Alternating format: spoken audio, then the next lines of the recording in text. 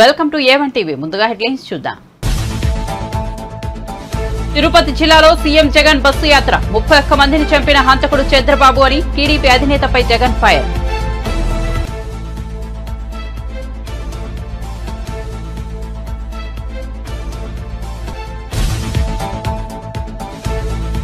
Phone tapping వ్యవహారంలో KCR కుటుంబం BRS గుర్తింపు రద్దు చేయాలన్న కిషన్ రెడ్డి సంచలన వ్యాఖ్యలు. ప్రైవేట్ వ్యక్తుల ఫోన్లను ట్యాపింగ్ చేసి బెదిరించి డబ్బులు వసూలు చేశారన్న కిషన్ రెడ్డి.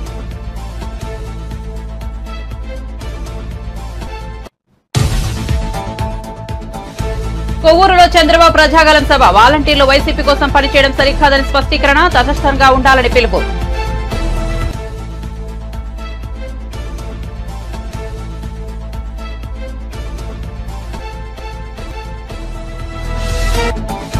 కేటీఆర్ లీగల్ నోటీసుల ద్వారా బెదిరించాలని చూస్తున్నారన్న MLA NM Srinivasareddy. Phone tapping వ్యవహారంలో విచారణ కోసం తాము అడుగుతుంటే పరువు తీశారని కేటీఆర్ అనడం విడ్డూరమని వ్యాఖ్య.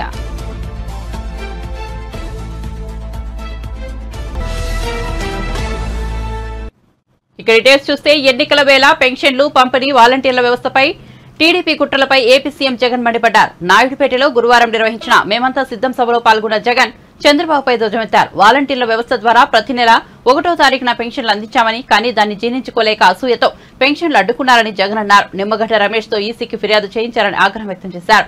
తాము అధికారంలోకి వచ్చిన తర్వాత వెయ్యి ఇస్తున్న పెన్షన్ మూడు వేలకు పెంచామని గుర్తు చేశారు. పేదలకు వైసీపీ ప్రభుత్వం తోడుగా ఉంటుందని అన్నారు. రాష్ట్రంలో రాజకీయాలు చెడిపోయాయని దిగజారిపోయాయని ఆవేదన వ్యక్తం చేశారు. ఈ యుద్ధానికి మీరంతా మీరంతా సిద్ధమేనా అని అడుగుతాను మీరంతా కూడా చూశారు.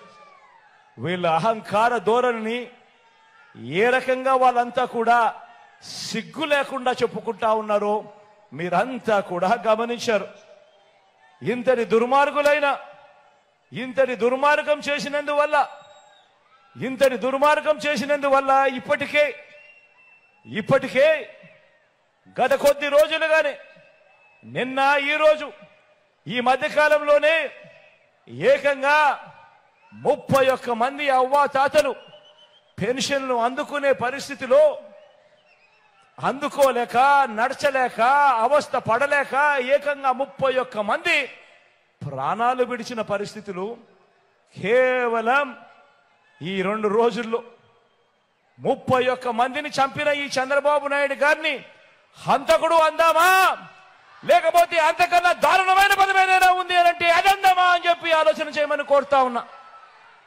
నేను అడుగుతా ఉన్నా ఇదే చంద్రబాబు నాయుడు అయ్యా చంద్రబాబు నాయుడు గారు ఈ రాష్ట్రంలో అరవై ఆరు లక్షల మంది పెన్షన్ తీసుకుంటా ఉన్నారు. అవ్వ తాతలు ఉన్నారు. వితంతు అక్క చెల్లెమ్మలు ఉన్నారు. నా దివ్యాంగులు ఉన్నారు. మీ అందరికీ కూడా వీరందరికీ కూడా చెబుతున్నా వీరందరికీ కూడా చెబుతా ఉన్నా కొంచెం ఓపిక పట్టండి. కొంచెం ఓపిక పట్టండి. జూన్ నాలుగో తారీఖున మళ్ళీ మీ బిడ్డ ప్రభుత్వం వస్తుంది. మళ్ళీ మీ బిడ్డ ప్రభుత్వం వస్తుంది.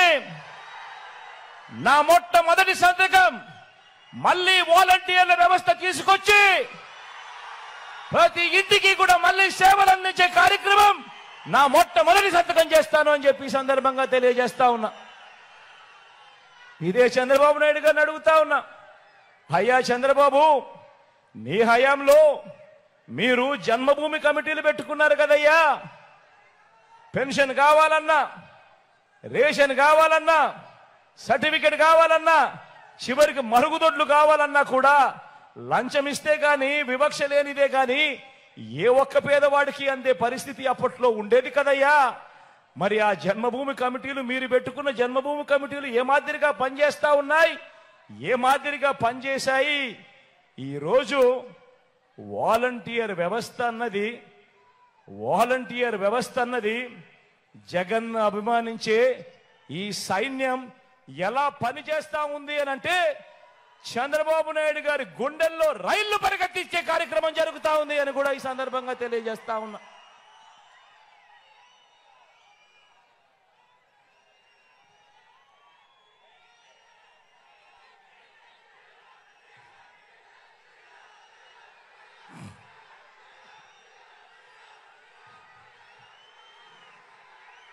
ఇంతమందికి అండగా నిలబడ్డాం కాబట్టి ఇంతమందికి అండగా తోడుగా నిలబడ్డాం కాబట్టి ఈరోజు ఈరోజు మీ బిడ్డ జగన్కి టీడీపీ అధినేత చంద్రబాబు నాయుడు తూర్పుగోదావరి జిల్లా కొవ్వూరులో ప్రజాగరం సభకు హాజరయ్యారు. ఈ సందర్భంగా ఆయన ప్రసంగిస్తూ రాష్ట్రంలో ప్రభుత్వ వ్యతిరేక ఓటును చెల్లనివ్వకూడదని పవన్ కళ్యాణ్ మొదటి నుంచి చెబుతున్నారని ప్రజల కోసం రాజకీయాల్లోకి వచ్చిన మనిషి పవన్ కళ్యాణ్ అని కొనియాడారు. కేంద్రంలో మళ్ళీ వచ్చే పార్టీ బీజేపీనని రాష్ట్రాన్ని కాపాడుకోవాలన్న ఉద్దేశంతో ఏపీలో టీడీపీ జనసేన బీజేపీ ఒక కూటమిగా కలిసి ఆయన వెల్లడించారు.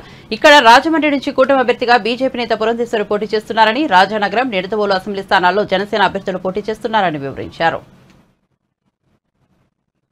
బీజేపీ అభ్యర్థి ఎంపీగా పోటీ చేస్తున్నారు పురంధేశ్వరి గారు. జనసేన అభ్యర్థులు ఇద్దరు పోటీ చేస్తున్నారు. రాజానగరం ఏ నియోజకవర్గం ఇంకోటి? నిడదవోలు. కడం ఐదు ఇంకొక సీటు బీజేపీకి ఇచ్చాం కానీ అది ఇంకా డిసైడ్ కాలేదు. కడం సీట్లు తెలుగుదేశం పార్టీ పోటీ చేస్తున్నాం. ఏం తమ్ముళ్ళు హుషారుగా ఉన్నారా అని మిమ్మల్ని అడుగుతున్నా. నేను మిమ్మల్ని అందరినీ చైతన్యవంతులు చేయడానికి వచ్చాను. మీ ఉత్సాహం చూస్తే నన్ను ఉత్సాహపరచడానికి మీరు ఇక్కడికి వచ్చారు. చంద్రన్న సాగిపో. మీ ఎంట మేము ఉన్నామని సంఘీభావానికి వచ్చిన మీ అందరికీ పేరు పేరున మనస్ఫూర్తిగా నమస్కారాలు. మీరెట్టయితే ఎండ కూడా లెక్క పెట్టుకోరు. నేను కూడా ఎండ వాన ఏమీ లెక్క పెట్టుకోవడం లేదు.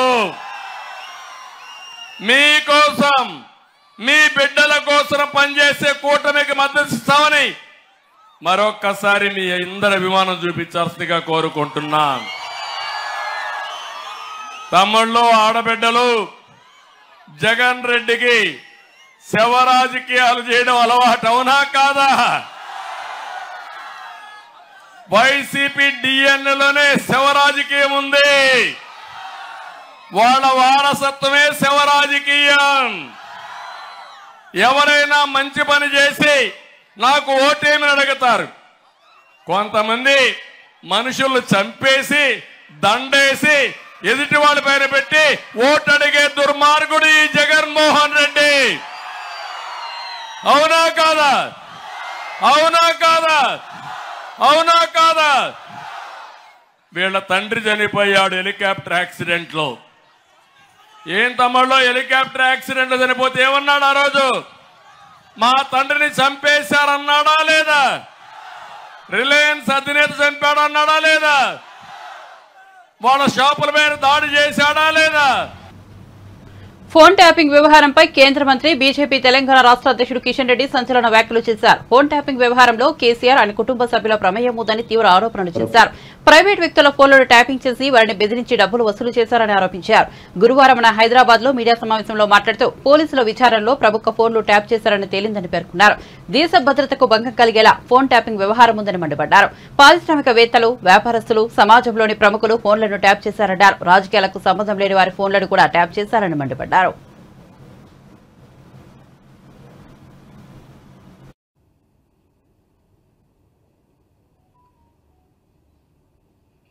ఈ కేసు ఆషామాషి కేసు కాదు. ఇది చాలా తీవ్రమైనటువంటి వ్యవహారము. ఇది ఒక రాజకీయపరమైనటువంటి కక్ష సాధింపు చర్య మాత్రమే కాదు. రాజకీయపరమైనటువంటి లబ్ధి పొందడం కోసం చేపట్టినటువంటి ఫోన్ ట్యాపింగ్ వ్యవహారం మాత్రమే కాదు ఇందులో వ్యక్తిగత గోప్యత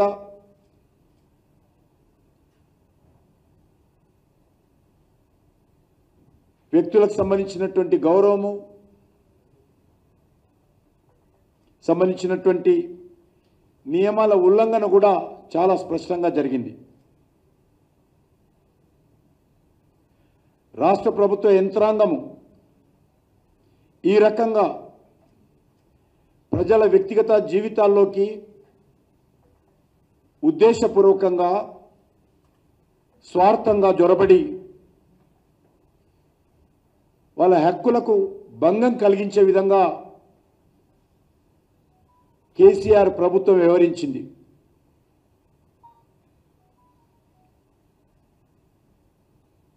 రెండు వేల పద్దెనిమిది శాసనసభ ఎన్నికల్లో రెండు వేల పంతొమ్మిది పార్లమెంట్ ఎన్నికల్లో ఆ తర్వాత జరిగినటువంటి దుబ్బాక శాసనసభ ఎన్నికల్లో హుజురాబాద్ శాసనసభ ఎన్నికల్లో మునుగోడు శాసనసభ ఎన్నికల్లో ఆ మధ్యలో జరిగినటువంటి మున్సిపల్ కార్పొరేషన్ ఎన్నికల్లో పూర్తిగా బీఆర్ఎస్ ప్రభుత్వము కేసీఆర్ ప్రభుత్వము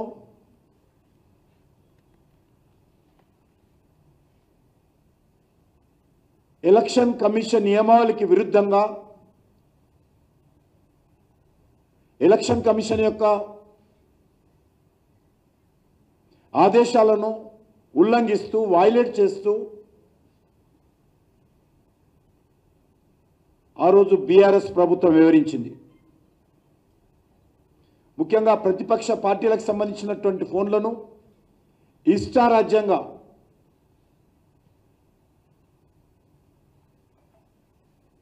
అక్రమ పద్ధతిలో ఫోన్ ట్యాపింగ్ చేయడం జరిగింది. మీకు తెలుసు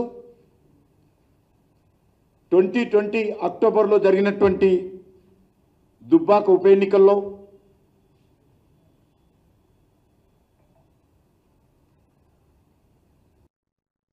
ఉమ్మడి కడప జిల్లా రైల్వే కోడూరు అసెంబ్లీ నియోజకవర్గ జనసేన అభ్యర్థిగా అరవ శ్రీధర్ పేరును జనసేనాని పవన్ కళ్యాణ్ ప్రకటించారు.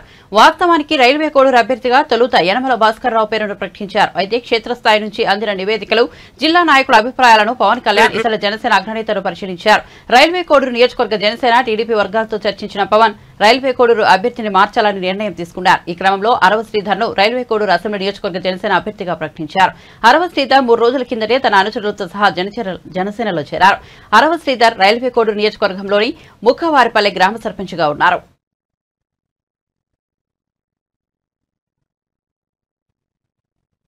BRS working president KTR legal నోటీసులు ఇవ్వడం ద్వారా బెదిరించాలని చూస్తున్నారని మహబూబ్ నగర్ ఎమ్మెల్యే ఎన్ఎం శ్రీనివాసరెడ్డి మండిపడ్డారు. ఫోన్ ట్యాపింగ్ వ్యవహారంలో పూర్తి స్థాయిలో విచారణ జరపాలని తాము డిమాండ్ చేస్తుంటే పరువు తీశారని కేటీఆర్ అనడం విడ్డూరంగా ఉందన్నారు. ఫోన్ ట్యాపింగ్ బాధితులుగా తాము ఫిర్యాదు చేశామన్నారు. ఆధారాలు చూపించినందునే పోలీసులు విచారిస్తున్నట్టు చెప్పారు. తాను కనుక కేటీఆర్ స్థానంలో ఉండి ఉంటే ఫోన్ ట్యాపింగ్ వ్యవహారంలో తన పాత్ర లేదని పోలీసు అధికారులకు లేఖ రాసి వివరణ ఇస్తానని తెలిపారు. కానీ కేటీఆర్ మాత్రం లీగల్ నోటీసులు ఇచ్చి బెదిరించాలని చూస్తున్నారని మండిపడ్డారు. కాగా ఫోన్ ట్యాపింగ్ విషయంలో తనపై తప్పుడు ఆరోపణలు చేస్తున్నారంటూ మంత్రి Konda Surekha MLA NM Srinivasa Reddy KK Mahender రెడ్డిలకు KTR legal నోటీసులు పంపించారు. చేసి పక్కన కూర్చొని మేము స్ట్రాటజిస్టులము మేము స్ట్రాటజీ చెప్తామని చాలామంది తయారయ్యారు ఇప్పుడు.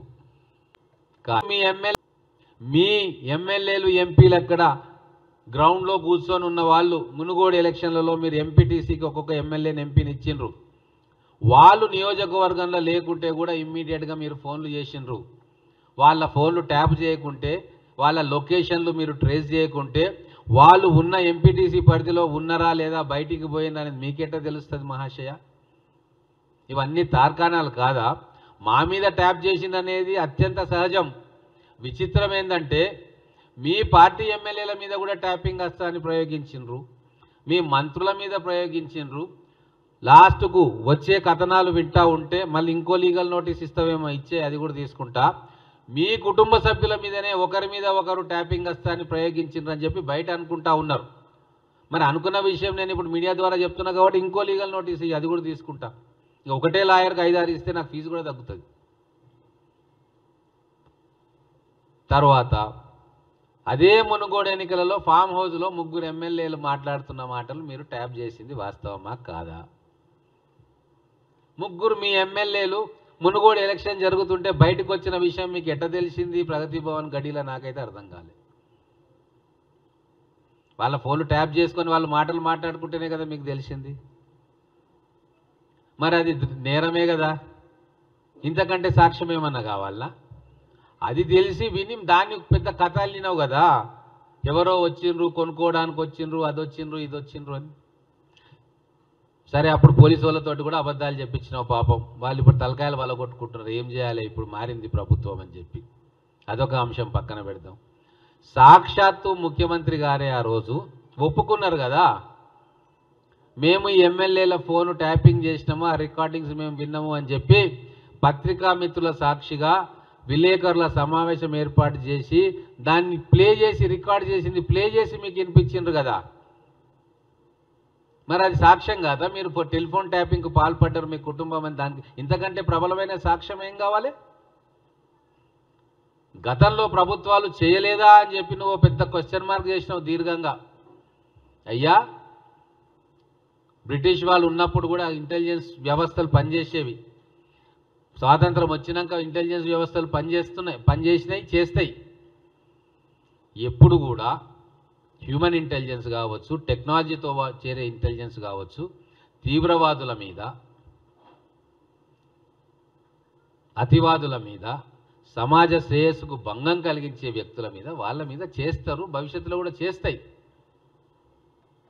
కానీ మీలాగా పొలిటికల్ అపోనెంట్స్ ఫోన్లు ట్యాప్ చేసే కుకల్స్ కుసంస్కారులు మాత్రం ఎవరు కూడా ఈ తెలంగాణలో అధికారంలో ఉన్నవాళ్ళు కానీ ప్రతిపక్షంలో ఉన్నవాళ్ళు కానీ సమైక్య ఆంధ్రప్రదేశ్లో ముఖ్యమంత్రులుగా ఉన్నవాళ్ళు ఏ రోజు చేయలే. ఒకవేళ ఎవరో ఒకరో ఇద్దరో ఏదో తప్పుదారిన ఏదైనా కేసుల్లో ఇరుక్కొని ఉండి ఎవరినో ట్యాప్ చేయబోయి వీళ్ళ మాటలు వచ్చినా అది కేవలం పోలీస్ అధికారులు విని ఆ రిపోర్టు తీసుకునే వాళ్ళు తప్ప ఎవరేం మాట్లాడుకుంటున్నారో విని మళ్ళీ కాల్ చేసి వాలంటీర్ల విషయంలో ఈసీ మీద ఒత్తిడి తీసుకొచ్చారని టీడీపీ అధినేత చంద్రబాబుపై ఏపీ ప్రభుత్వ సలహాదారు సజ్జల రామకృష్ణారెడ్డి విమర్శలు గుప్పించారు. పెన్షన్లు ఇచ్చేందుకు ప్రభుత్వం పెద్ద డబ్బులు లేవని ఇప్పుడు తప్పుడు ఆరోపణలు చేస్తున్నారని మండిపడ్డారు. ఏది నిజం ఏది అబద్దం అనేది ప్రజలకు తెలుసునని అన్నారు. సొంత స్వార్థం తప్ప చంద్రబాబు మరేమీ చూసుకోవడం లేదని ఆ స్వార్థంతోనే ఏం చేస్తున్నారో కూడా ఆయనకు తెలియడం లేదని చెప్పారు. జనంలో వచ్చిన తిరుగుబాటు చంద్రబాబు నాయుడు మీద పాతవన్నీ గుర్తుకొచ్చి వాళ్ళు శాపాలు పెట్టడం ఇవి చూసి జడుచుకొని మా మీద మళ్ళీ కౌంటర్ అటాక్ చేయాలని చేస్తున్నాడు. కారణం ఆయన. ఈ వ్యవస్థ ఏదైతే వాలంటీర్ వ్యవస్థ చేసే పనిని ఈరోజు మళ్ళీ ఏ వాలంటీర్లు తిట్టాడో తనే అంటున్నాడు. రెండు నెలల్లో మేము వచ్చేస్తాము నాలుగు వేలు పంపిస్తాము వాలంటీర్ల ద్వారా అని. నువ్వు అదే వాలంటీర్లు వద్దన్నావు వాళ్ళ వల్ల నీ నష్టాలు అన్నావు. ఆఖరకు సెక అసలు ఉద్యోగాలే ఇవ్వలేదన్నాడు ఈరోజు దాన్ని ఒప్పుకుంటున్నాడు మళ్ళీ. మీకు సెక్రటరీ లక్ష ఇరవై అరవై వేల మంది ఉద్యోగులు ఉన్నారు కదా శాశ్వత పర్మనెంట్ ఉద్యోగులు వాళ్ళతో ఇప్పించండి అంటే అతను చంద్రబాబు నాయుడు తాను ఎంతసేపు స్వార్థం తప్ప వేరే చూసుకొని ఒక దాని ఏమంటాం? సమాజంలో ఉండడానికి కూడా అర్హత లేని ఒక వ్యక్తిగా ఇప్పటికే గుర్తింపు పొందిన చంద్రబాబు నాయుడు మన దురదృష్టవశాత్తు ఒక పార్టీ అధ్యక్షుడిగా ఉండడం ఆ పార్టీ ఇప్పుడు అవసర దశలో ఉన్న ఆ పార్టీ అధ్యక్షుడిగా ఆయన ఏం చేస్తున్నాడో ఆయనకు తెలియట్లా. ఈ సిస్టమ్స్ ఏవైతే ఫూల్ ప్రూఫ్గా ఎవరికైనా ఆదర్శప్రాయంగా ఉండే సిస్టమ్ జగన్మోహన్ రెడ్డి గారు ఏవైతే పెట్టారో ఇవి ఆ రోజు ఆయన పెట్టొద్దని ఎవరన్నా ఆ రోజు పెడితే మేము వాటితోనే డీల్ చేయాల్సి వచ్చేది. నువ్వు ఆ రోజు జన్మభూమి కమిటీల బదులు ఇది సిస్టమ్ పెట్టింటే డెలివరీ మెకానిజం. జగన్మోహన్ రెడ్డి గారు వచ్చి దాని మీద డిపెండ్ అయ్యేవారు ఇష్యూ ఏ సిస్టమ్ ఉందని కాదు. దాని ద్వారా మనం ఏం చేయిస్తున్నాము? ప్రజలకు ఎంత అందుబాటులో ఉన్నాము? ఎంత ప్రజలకు మంచి చేసే తపన పడినాము? ఇది కీలకమైన అంశం అవుతుంది. అందులో జగన్మోహన్ రెడ్డి గారు సక్సెస్ఫుల్గా కిందకు తీసుకెళ్ళారు కాబట్టి వాలంటీర్లు అంటే వాళ్ళ వాళ్ళ ఉద్యోగం వాళ్ళ ఏదో ఏదైతే బాధ్యత నిర్వహిస్తున్నారో దాంట్లో సక్సెస్ అయ్యారు. ప్రజల్లో కూడా ఆ సిస్టమ్కి మంచి పేరు వచ్చింది. దానివల్ల ఉపయోగం ఉందని అదర్ స్టేట్స్ కూడా గుర్తించాయి. ప్రతి ఒక్కరూ దాన్ని పొగుడుతున్నారు. ఇది ఇంతకుముందు ఎందుకు జరగలేదు జరిగింటే బాగుండేది ఇంత ఇలాంటి ఎఫిషియెంట్ సిస్టమ్ నువ్వు దాన్ని దెబ్బ కొట్టాలని చూసావు దాని ద్వారా ఏ ప్రయోజనం అయితే కిందికి ఇస్తున్నామో దానిలోనూ దెబ్బ కొట్టాలని చూసావు ఆఖరకు ఉడుకుమోత్తనంతో కడుపు మంటతో ఈరోజు దానికి టెంపరీగా తాత్కాలికంగా ఈసీతో బ్రేక్ వేయించాడు వేయించి ఇప్పుడు రెండు పత్రికలు చేతిలో ఉన్నాయి మూడు టీవీ ఛానళ్ళు చేతిలో ఉన్నాయని అడ్డంగా ఈరోజు ఏదో పెట్టారు. పండుటాకుల మీద పగ అని ఒకడు కావాలని శవరాజకీయాలు చేస్తున్నాను ఒకడు. అదే తీసుకుని చంద్రబాబు నాయుడు ఎక్కడ మీటింగ్లో దాని ఆ మాటే మాట్లాడతారు ఉన్నత సిస్టంలోనే వాలంటీర్ వ్యవస్థ ద్వారా మామూలుగా అయితే ఫస్ట్ డే ఎయిటీ పర్సెంట్ పైన అయ్యేది. ఇప్పుడు ఉన్న సిస్టమ్ని ఎఫిషియెంట్గా వాడుకోవడం ద్వారా ప్రభుత్వం ఈరోజు మార్నింగ్కు సిక్స్టీ పర్సెంట్ పూర్తి అయినట్టు ఇన్ఫర్మేషన్ వచ్చింది. నడుస్తుంది. బట్ ఇబ్బందులు ఉన్నాయి. ఎందుకంటే ఇంటి దగ్గరికి తెచ్చి ఇవ్వడానికి నడవలేని వాళ్ళకో ఓల్డ్ వీళ్ళకు పీపుల్కు వికలాంగులకు అలాగే వాళ్ళు వెళ్ళి తెలుసుకో తెచ్చుకోవాల్సి రావడం మధ్య వైఎస్ఆర్సీపీ అరాచకాలకు భయపడేది లేదని టీడీపీ అధినేత చంద్రబాబు సత్యమని నారా భువనేశ్వర్ ఉద్ఘాటించారు. నిజం గెలవాలి యాత్రలో భాగంగా ఆమె వైఎస్ఆర్ జిల్లా ప్రొద్దుటూరులో పర్యటించారు. చంద్రబాబు అరెస్టు నేపథ్యంలో మనస్తాపంతో పెద్దిశెట్టిపల్లిలో మరణించిన టీడీపీ కార్యకర్త కూరబాటి రాధా కుటుంబాన్ని ఆమె పరామర్శించారు. ఈ కుటుంబానికి భరోసా కల్పించారు. ఆయన చాలా అభిమానుడు. మన అన్నగారు నందమూరి తారక రామారావు గారు అంటే ఆ రెండు ఎకరాల్లో ఆయన విగ్రహం పెట్టుకున్నారు. ఆయన తెలుగుదేశం పార్టీ కోసం చాలా ప్రచారం కానీ ఆయన ఏమన్నా చే- చేసేవారు పార్టీ కోసం. అట్లాంటి వ్యక్తిని అక్కడ వా- ఈ ప్రభుత్వం లీడర్ వైసీపీ లీడర్లు పట్టుకొని జై జగన్ జై వైసీపీ అంటే కూడా ఇక్కడ కత్తి పెట్టి బెదిరిస్తే కూడా వెనకాడలేదు ఆయన. ఒకటే చెప్పాడు. జై చంద్రబాబు జై తెలుగుదేశం అని. అక్కడితో ఆఖరి వరకు ఆయన కష్ట ఆయన ఇదే చెప్తా ఉన్నారు. అక్కడితో ఆయన చంపేశారు. కత్తితో ఆయన్ని నరికేశారు. అది వీళ్ళు చేసే అరాచకం మన తెలుగుదేశం కార్యకర్తల మీద. మీరందరూ ఇవన్నీ గుర్తుంచుకొని మీరు చాలా ధైర్యంగా ముందుకెళ్ళాలి. ఇప్పుడు నేను ఇంత ధైర్యం చేసి నేను ముందుకు వచ్చానంటే అది మీరే కారణం. మీరుంటారు నాకు అని. అట్లానే ఈ కార్యకర్తల కోసం తప్పకుండా చంద్రబాబు నాయుడు గారు వెనకాదు. నా ఎవ కుటుంబం కూడా ఆలోచించారు మీకోసం ఆయన ముందుకు వస్తారు. ఇప్పుడు అట్లానే మన పార్టీ కోసం మీకోసం కార్యకర్తలందరూ ముందుకొచ్చి మీ కాన్స్టిట్యున్సీలో మీరు పోరాడాలి ఇది తప్పదు. ఈ పోరాటం మన అందరిది మన భవిష్యత్తు కోసం మన పార్టీ కోసం మనం ముందుకెళ్ళాలి. అట్లానే మొన్న బంగారు పాలెంలో నేను ఒక ఆవిని హంసవేణి ఆవిడ కూడా తెలుగుదేశం కార్యకర్త. ధైర్యంగా ఆవిడ నీళ్ళు రావట్లేదు పంపులు కొడతా ఉంటే నీళ్ళు రావట్లేదు ఆవిడేం లేదు చేసి మన తెలుగుదేశం లీడర్లకి వెళ్ళి చె- చెప్పుకుంది. ఇట్లా నీళ్ళు రావట్లేదు పంపులో అది ఆవిడ చేసింది. ఈ వైసీపీ నాయకులు ఆమెని పట్టుకొని రెండు కళ్ళు బయటికి పీకేశారు. ఇది వాళ్ళు చేసిన దరిద్ర పనులు వీళ్ళు చేస్తున్నారు. ఒక స్త్రీ ఇంట్లో ఒక స్త్రీ ఉంటుందని కూడా వాళ్ళు మర్చిపోతున్నారు. వాళ్ళ కుటుంబంలో కూడా ఒక పెళ్ళం బిడ్డలు ఉన్నారని కూడా మర్చిపోతున్నారు వాళ్ళు. అది వైసీపీ చేసే ప్రభుత్వం. అట్లా ఎంతో మంది కార్యకర్తల్ని వాళ్ళ పొట్టబెట్టుకుంటున్నారు ఇది ఎన్నో రోజులు సాగదు. మనందరం చెయ్యి చెయ్యి కలుపుకోవాలి. కలుపుకుని ధైర్యం చేసి మళ్ళీ మళ్ళీ చెప్తున్నాను మనం ముందుకు వెళ్ళాలి. ఒక అడుగు వెనక్కి వేయకూడదు. ఎందుకంటే ఈ పార్టీ ఎవరండి పెట్టింది? చెప్పండి మీరందరూ. నందమూరి తారక రామారావు గారు.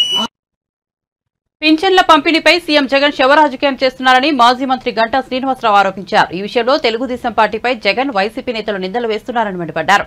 పెన్షన్ డబ్బులను జగన్ తొత్తులకు కాంట్రాక్టర్లకు ఇవ్వడంతోనే ఇబ్బందులు వచ్చాయని అన్నారు అవ్వాతాతల ఉసురు జగన్కి ఖచ్చితంగా తగులుతుందన్న టీడీపీ అధికారంలోకి వచ్చిన వెంటనే నాలుగు వేల పెన్షన్ ఇంటింటికి వెళ్ళి ఇస్తామని తెలిపారు.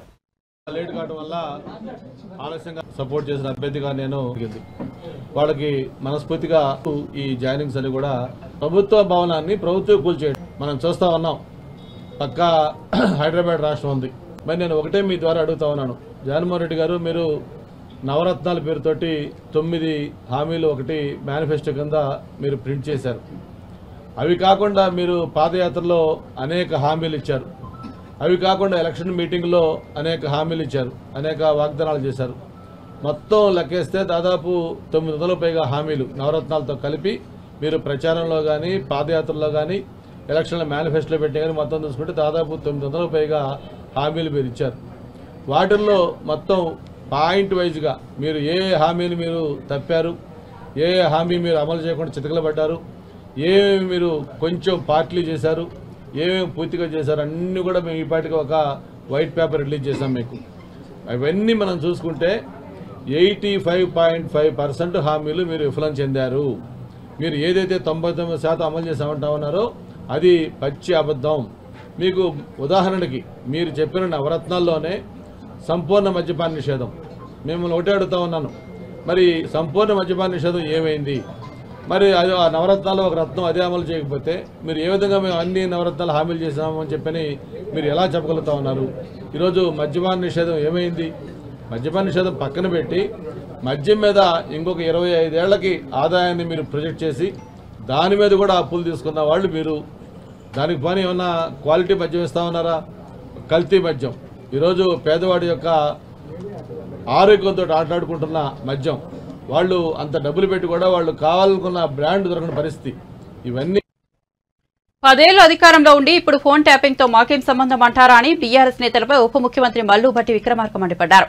పదేళ్ళు పాలించారు కాబట్టి ఈ వ్యవహారంలో వారికి బాధ్యత ఉంటుందన్నారు. దేశ భద్రత కోసం ఉగ్రవాదులను పట్టుకోవడానికి ఫోన్ ట్యాపింగ్ చేస్తారన్నారు. కానీ ప్రతిపక్ష నేతలను నిర్వీర్యం చేసేందుకు ఫోన్ ట్యాపింగ్ చేస్తారని ధ్వజమెత్తారు ఇతరుల వ్యక్తిగత జీవితాల్లోకి తొంగి చూసే హక్కు మీకు ఎవరు ఇచ్చారని ప్రశ్నించారు. తెలంగాణ రాష్ట్రంలో ప్రతి పైసా ప్రజలకే చెంది ఆ రకంగా దేశవ్యాప్తంగా కూడా యువతకి ఉద్యోగ అవకాశాలు దొరికేటట్టుగా ఉండటానికి కాంగ్రెస్ పార్టీకి అవకాశం ఇచ్చి గెలుపుకోగలిగితే భవిష్యత్తు పనికొచ్చే ఉద్యోగ అవకాశాలు భావ స్వేచ్ఛ కూడా దేశవ్యాప్తంగా పొందగలుగుతాం.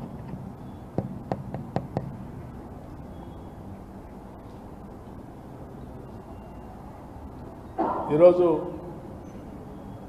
చాలామంది నాయకులు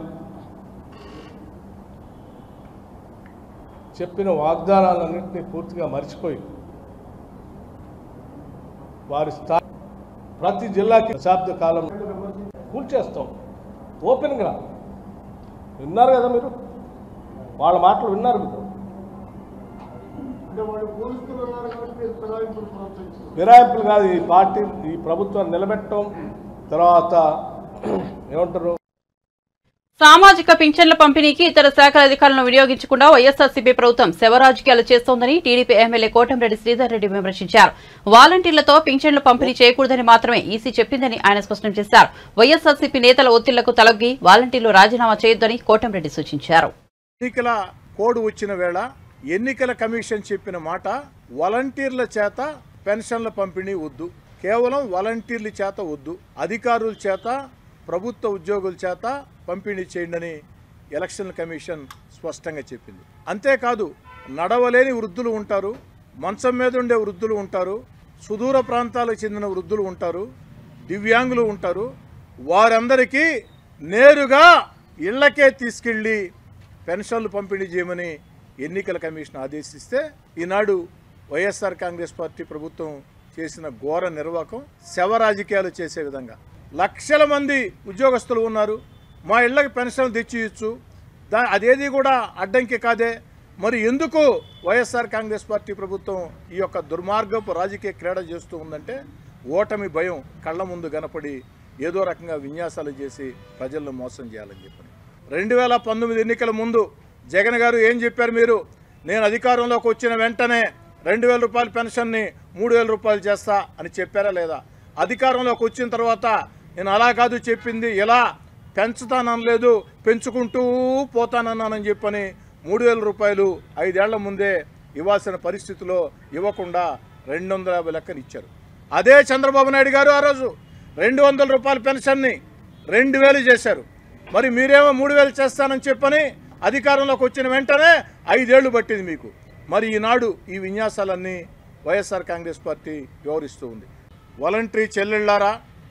వాలంటరీ తమ్ముళ్ళారా? వైఎస్ఆర్ కాంగ్రెస్ పార్టీ నాయకులు మిమ్మల్ని రాజీనామాలకి బెదిరిస్తూ ఉన్నారు. వాలంటీర్లకు వచ్చిన ఇబ్బంది ఏమీ లేదు. వైఎస్ఆర్ కాంగ్రెస్ పార్టీ నాయకుల ఒత్తిళ్ళని ఎవరూ లెక్క చేయవద్దు.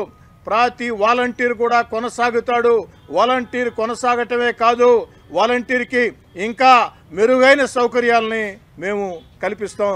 కాబట్టి వైఎస్ఆర్ కాంగ్రెస్ పార్టీ నాయకుల మాటల్ని వాళ్ళ బెదిరింపుల్ని మీరు లెక్క చేయాల్సిన అవసరం కూడా లేదు. ఎన్నికల కోడ్ కూడా వచ్చింది. మిమ్మల్ని ఎవరైనా బెదిరిస్తే నేరుగా ఫిర్యాదు చేస్తే కఠిన చర్యలు ఎన్నికల కమిషన్ తీసుకుంటుంది. దయచేసి వైఎస్ఆర్ కాంగ్రెస్ పార్టీ నాయకుల ఉచ్చుల్లో పడవద్దు. ముఖ్యమంత్రి జగన్మోహన్ రెడ్డి గారిని సూటి అడుగుతున్నాం. బులెటిన్ ముగించే ముందు హెడ్లైన్స్ మరోసారి చూద్దాం. తిరుపతి జిల్లాలో సీఎం జగన్ బస్సు యాత్ర. ముప్పై ఒక్క మందిని చంపిన హంతకుడు చంద్రబాబు అని టీడీపీ అధినేతపై జగన్ ఫైర్.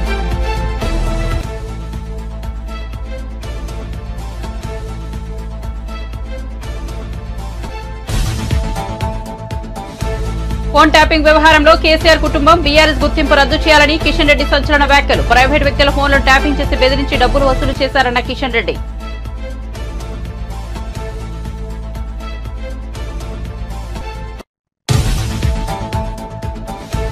కొవ్వూరులో చంద్రబాబు ప్రజాగలం సభ. వాలంటీర్లు వైసీపీ కోసం పనిచేయడం సరికాదని స్పష్టీకరణ తరష్టంగా ఉండాలని హితవు తాము వాలంటీర్ వ్యవస్థకు వ్యతిరేకం కాదన్న టీడీపీ అధినేత వాలంటీర్లు తొలగించబోమని హామీ.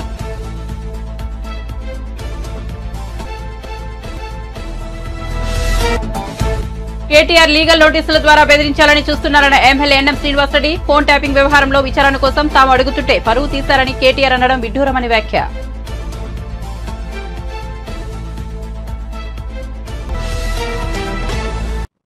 మరిన్ని అప్డేట్స్ కోసం చూస్తూనే ఉండండి. A one TV.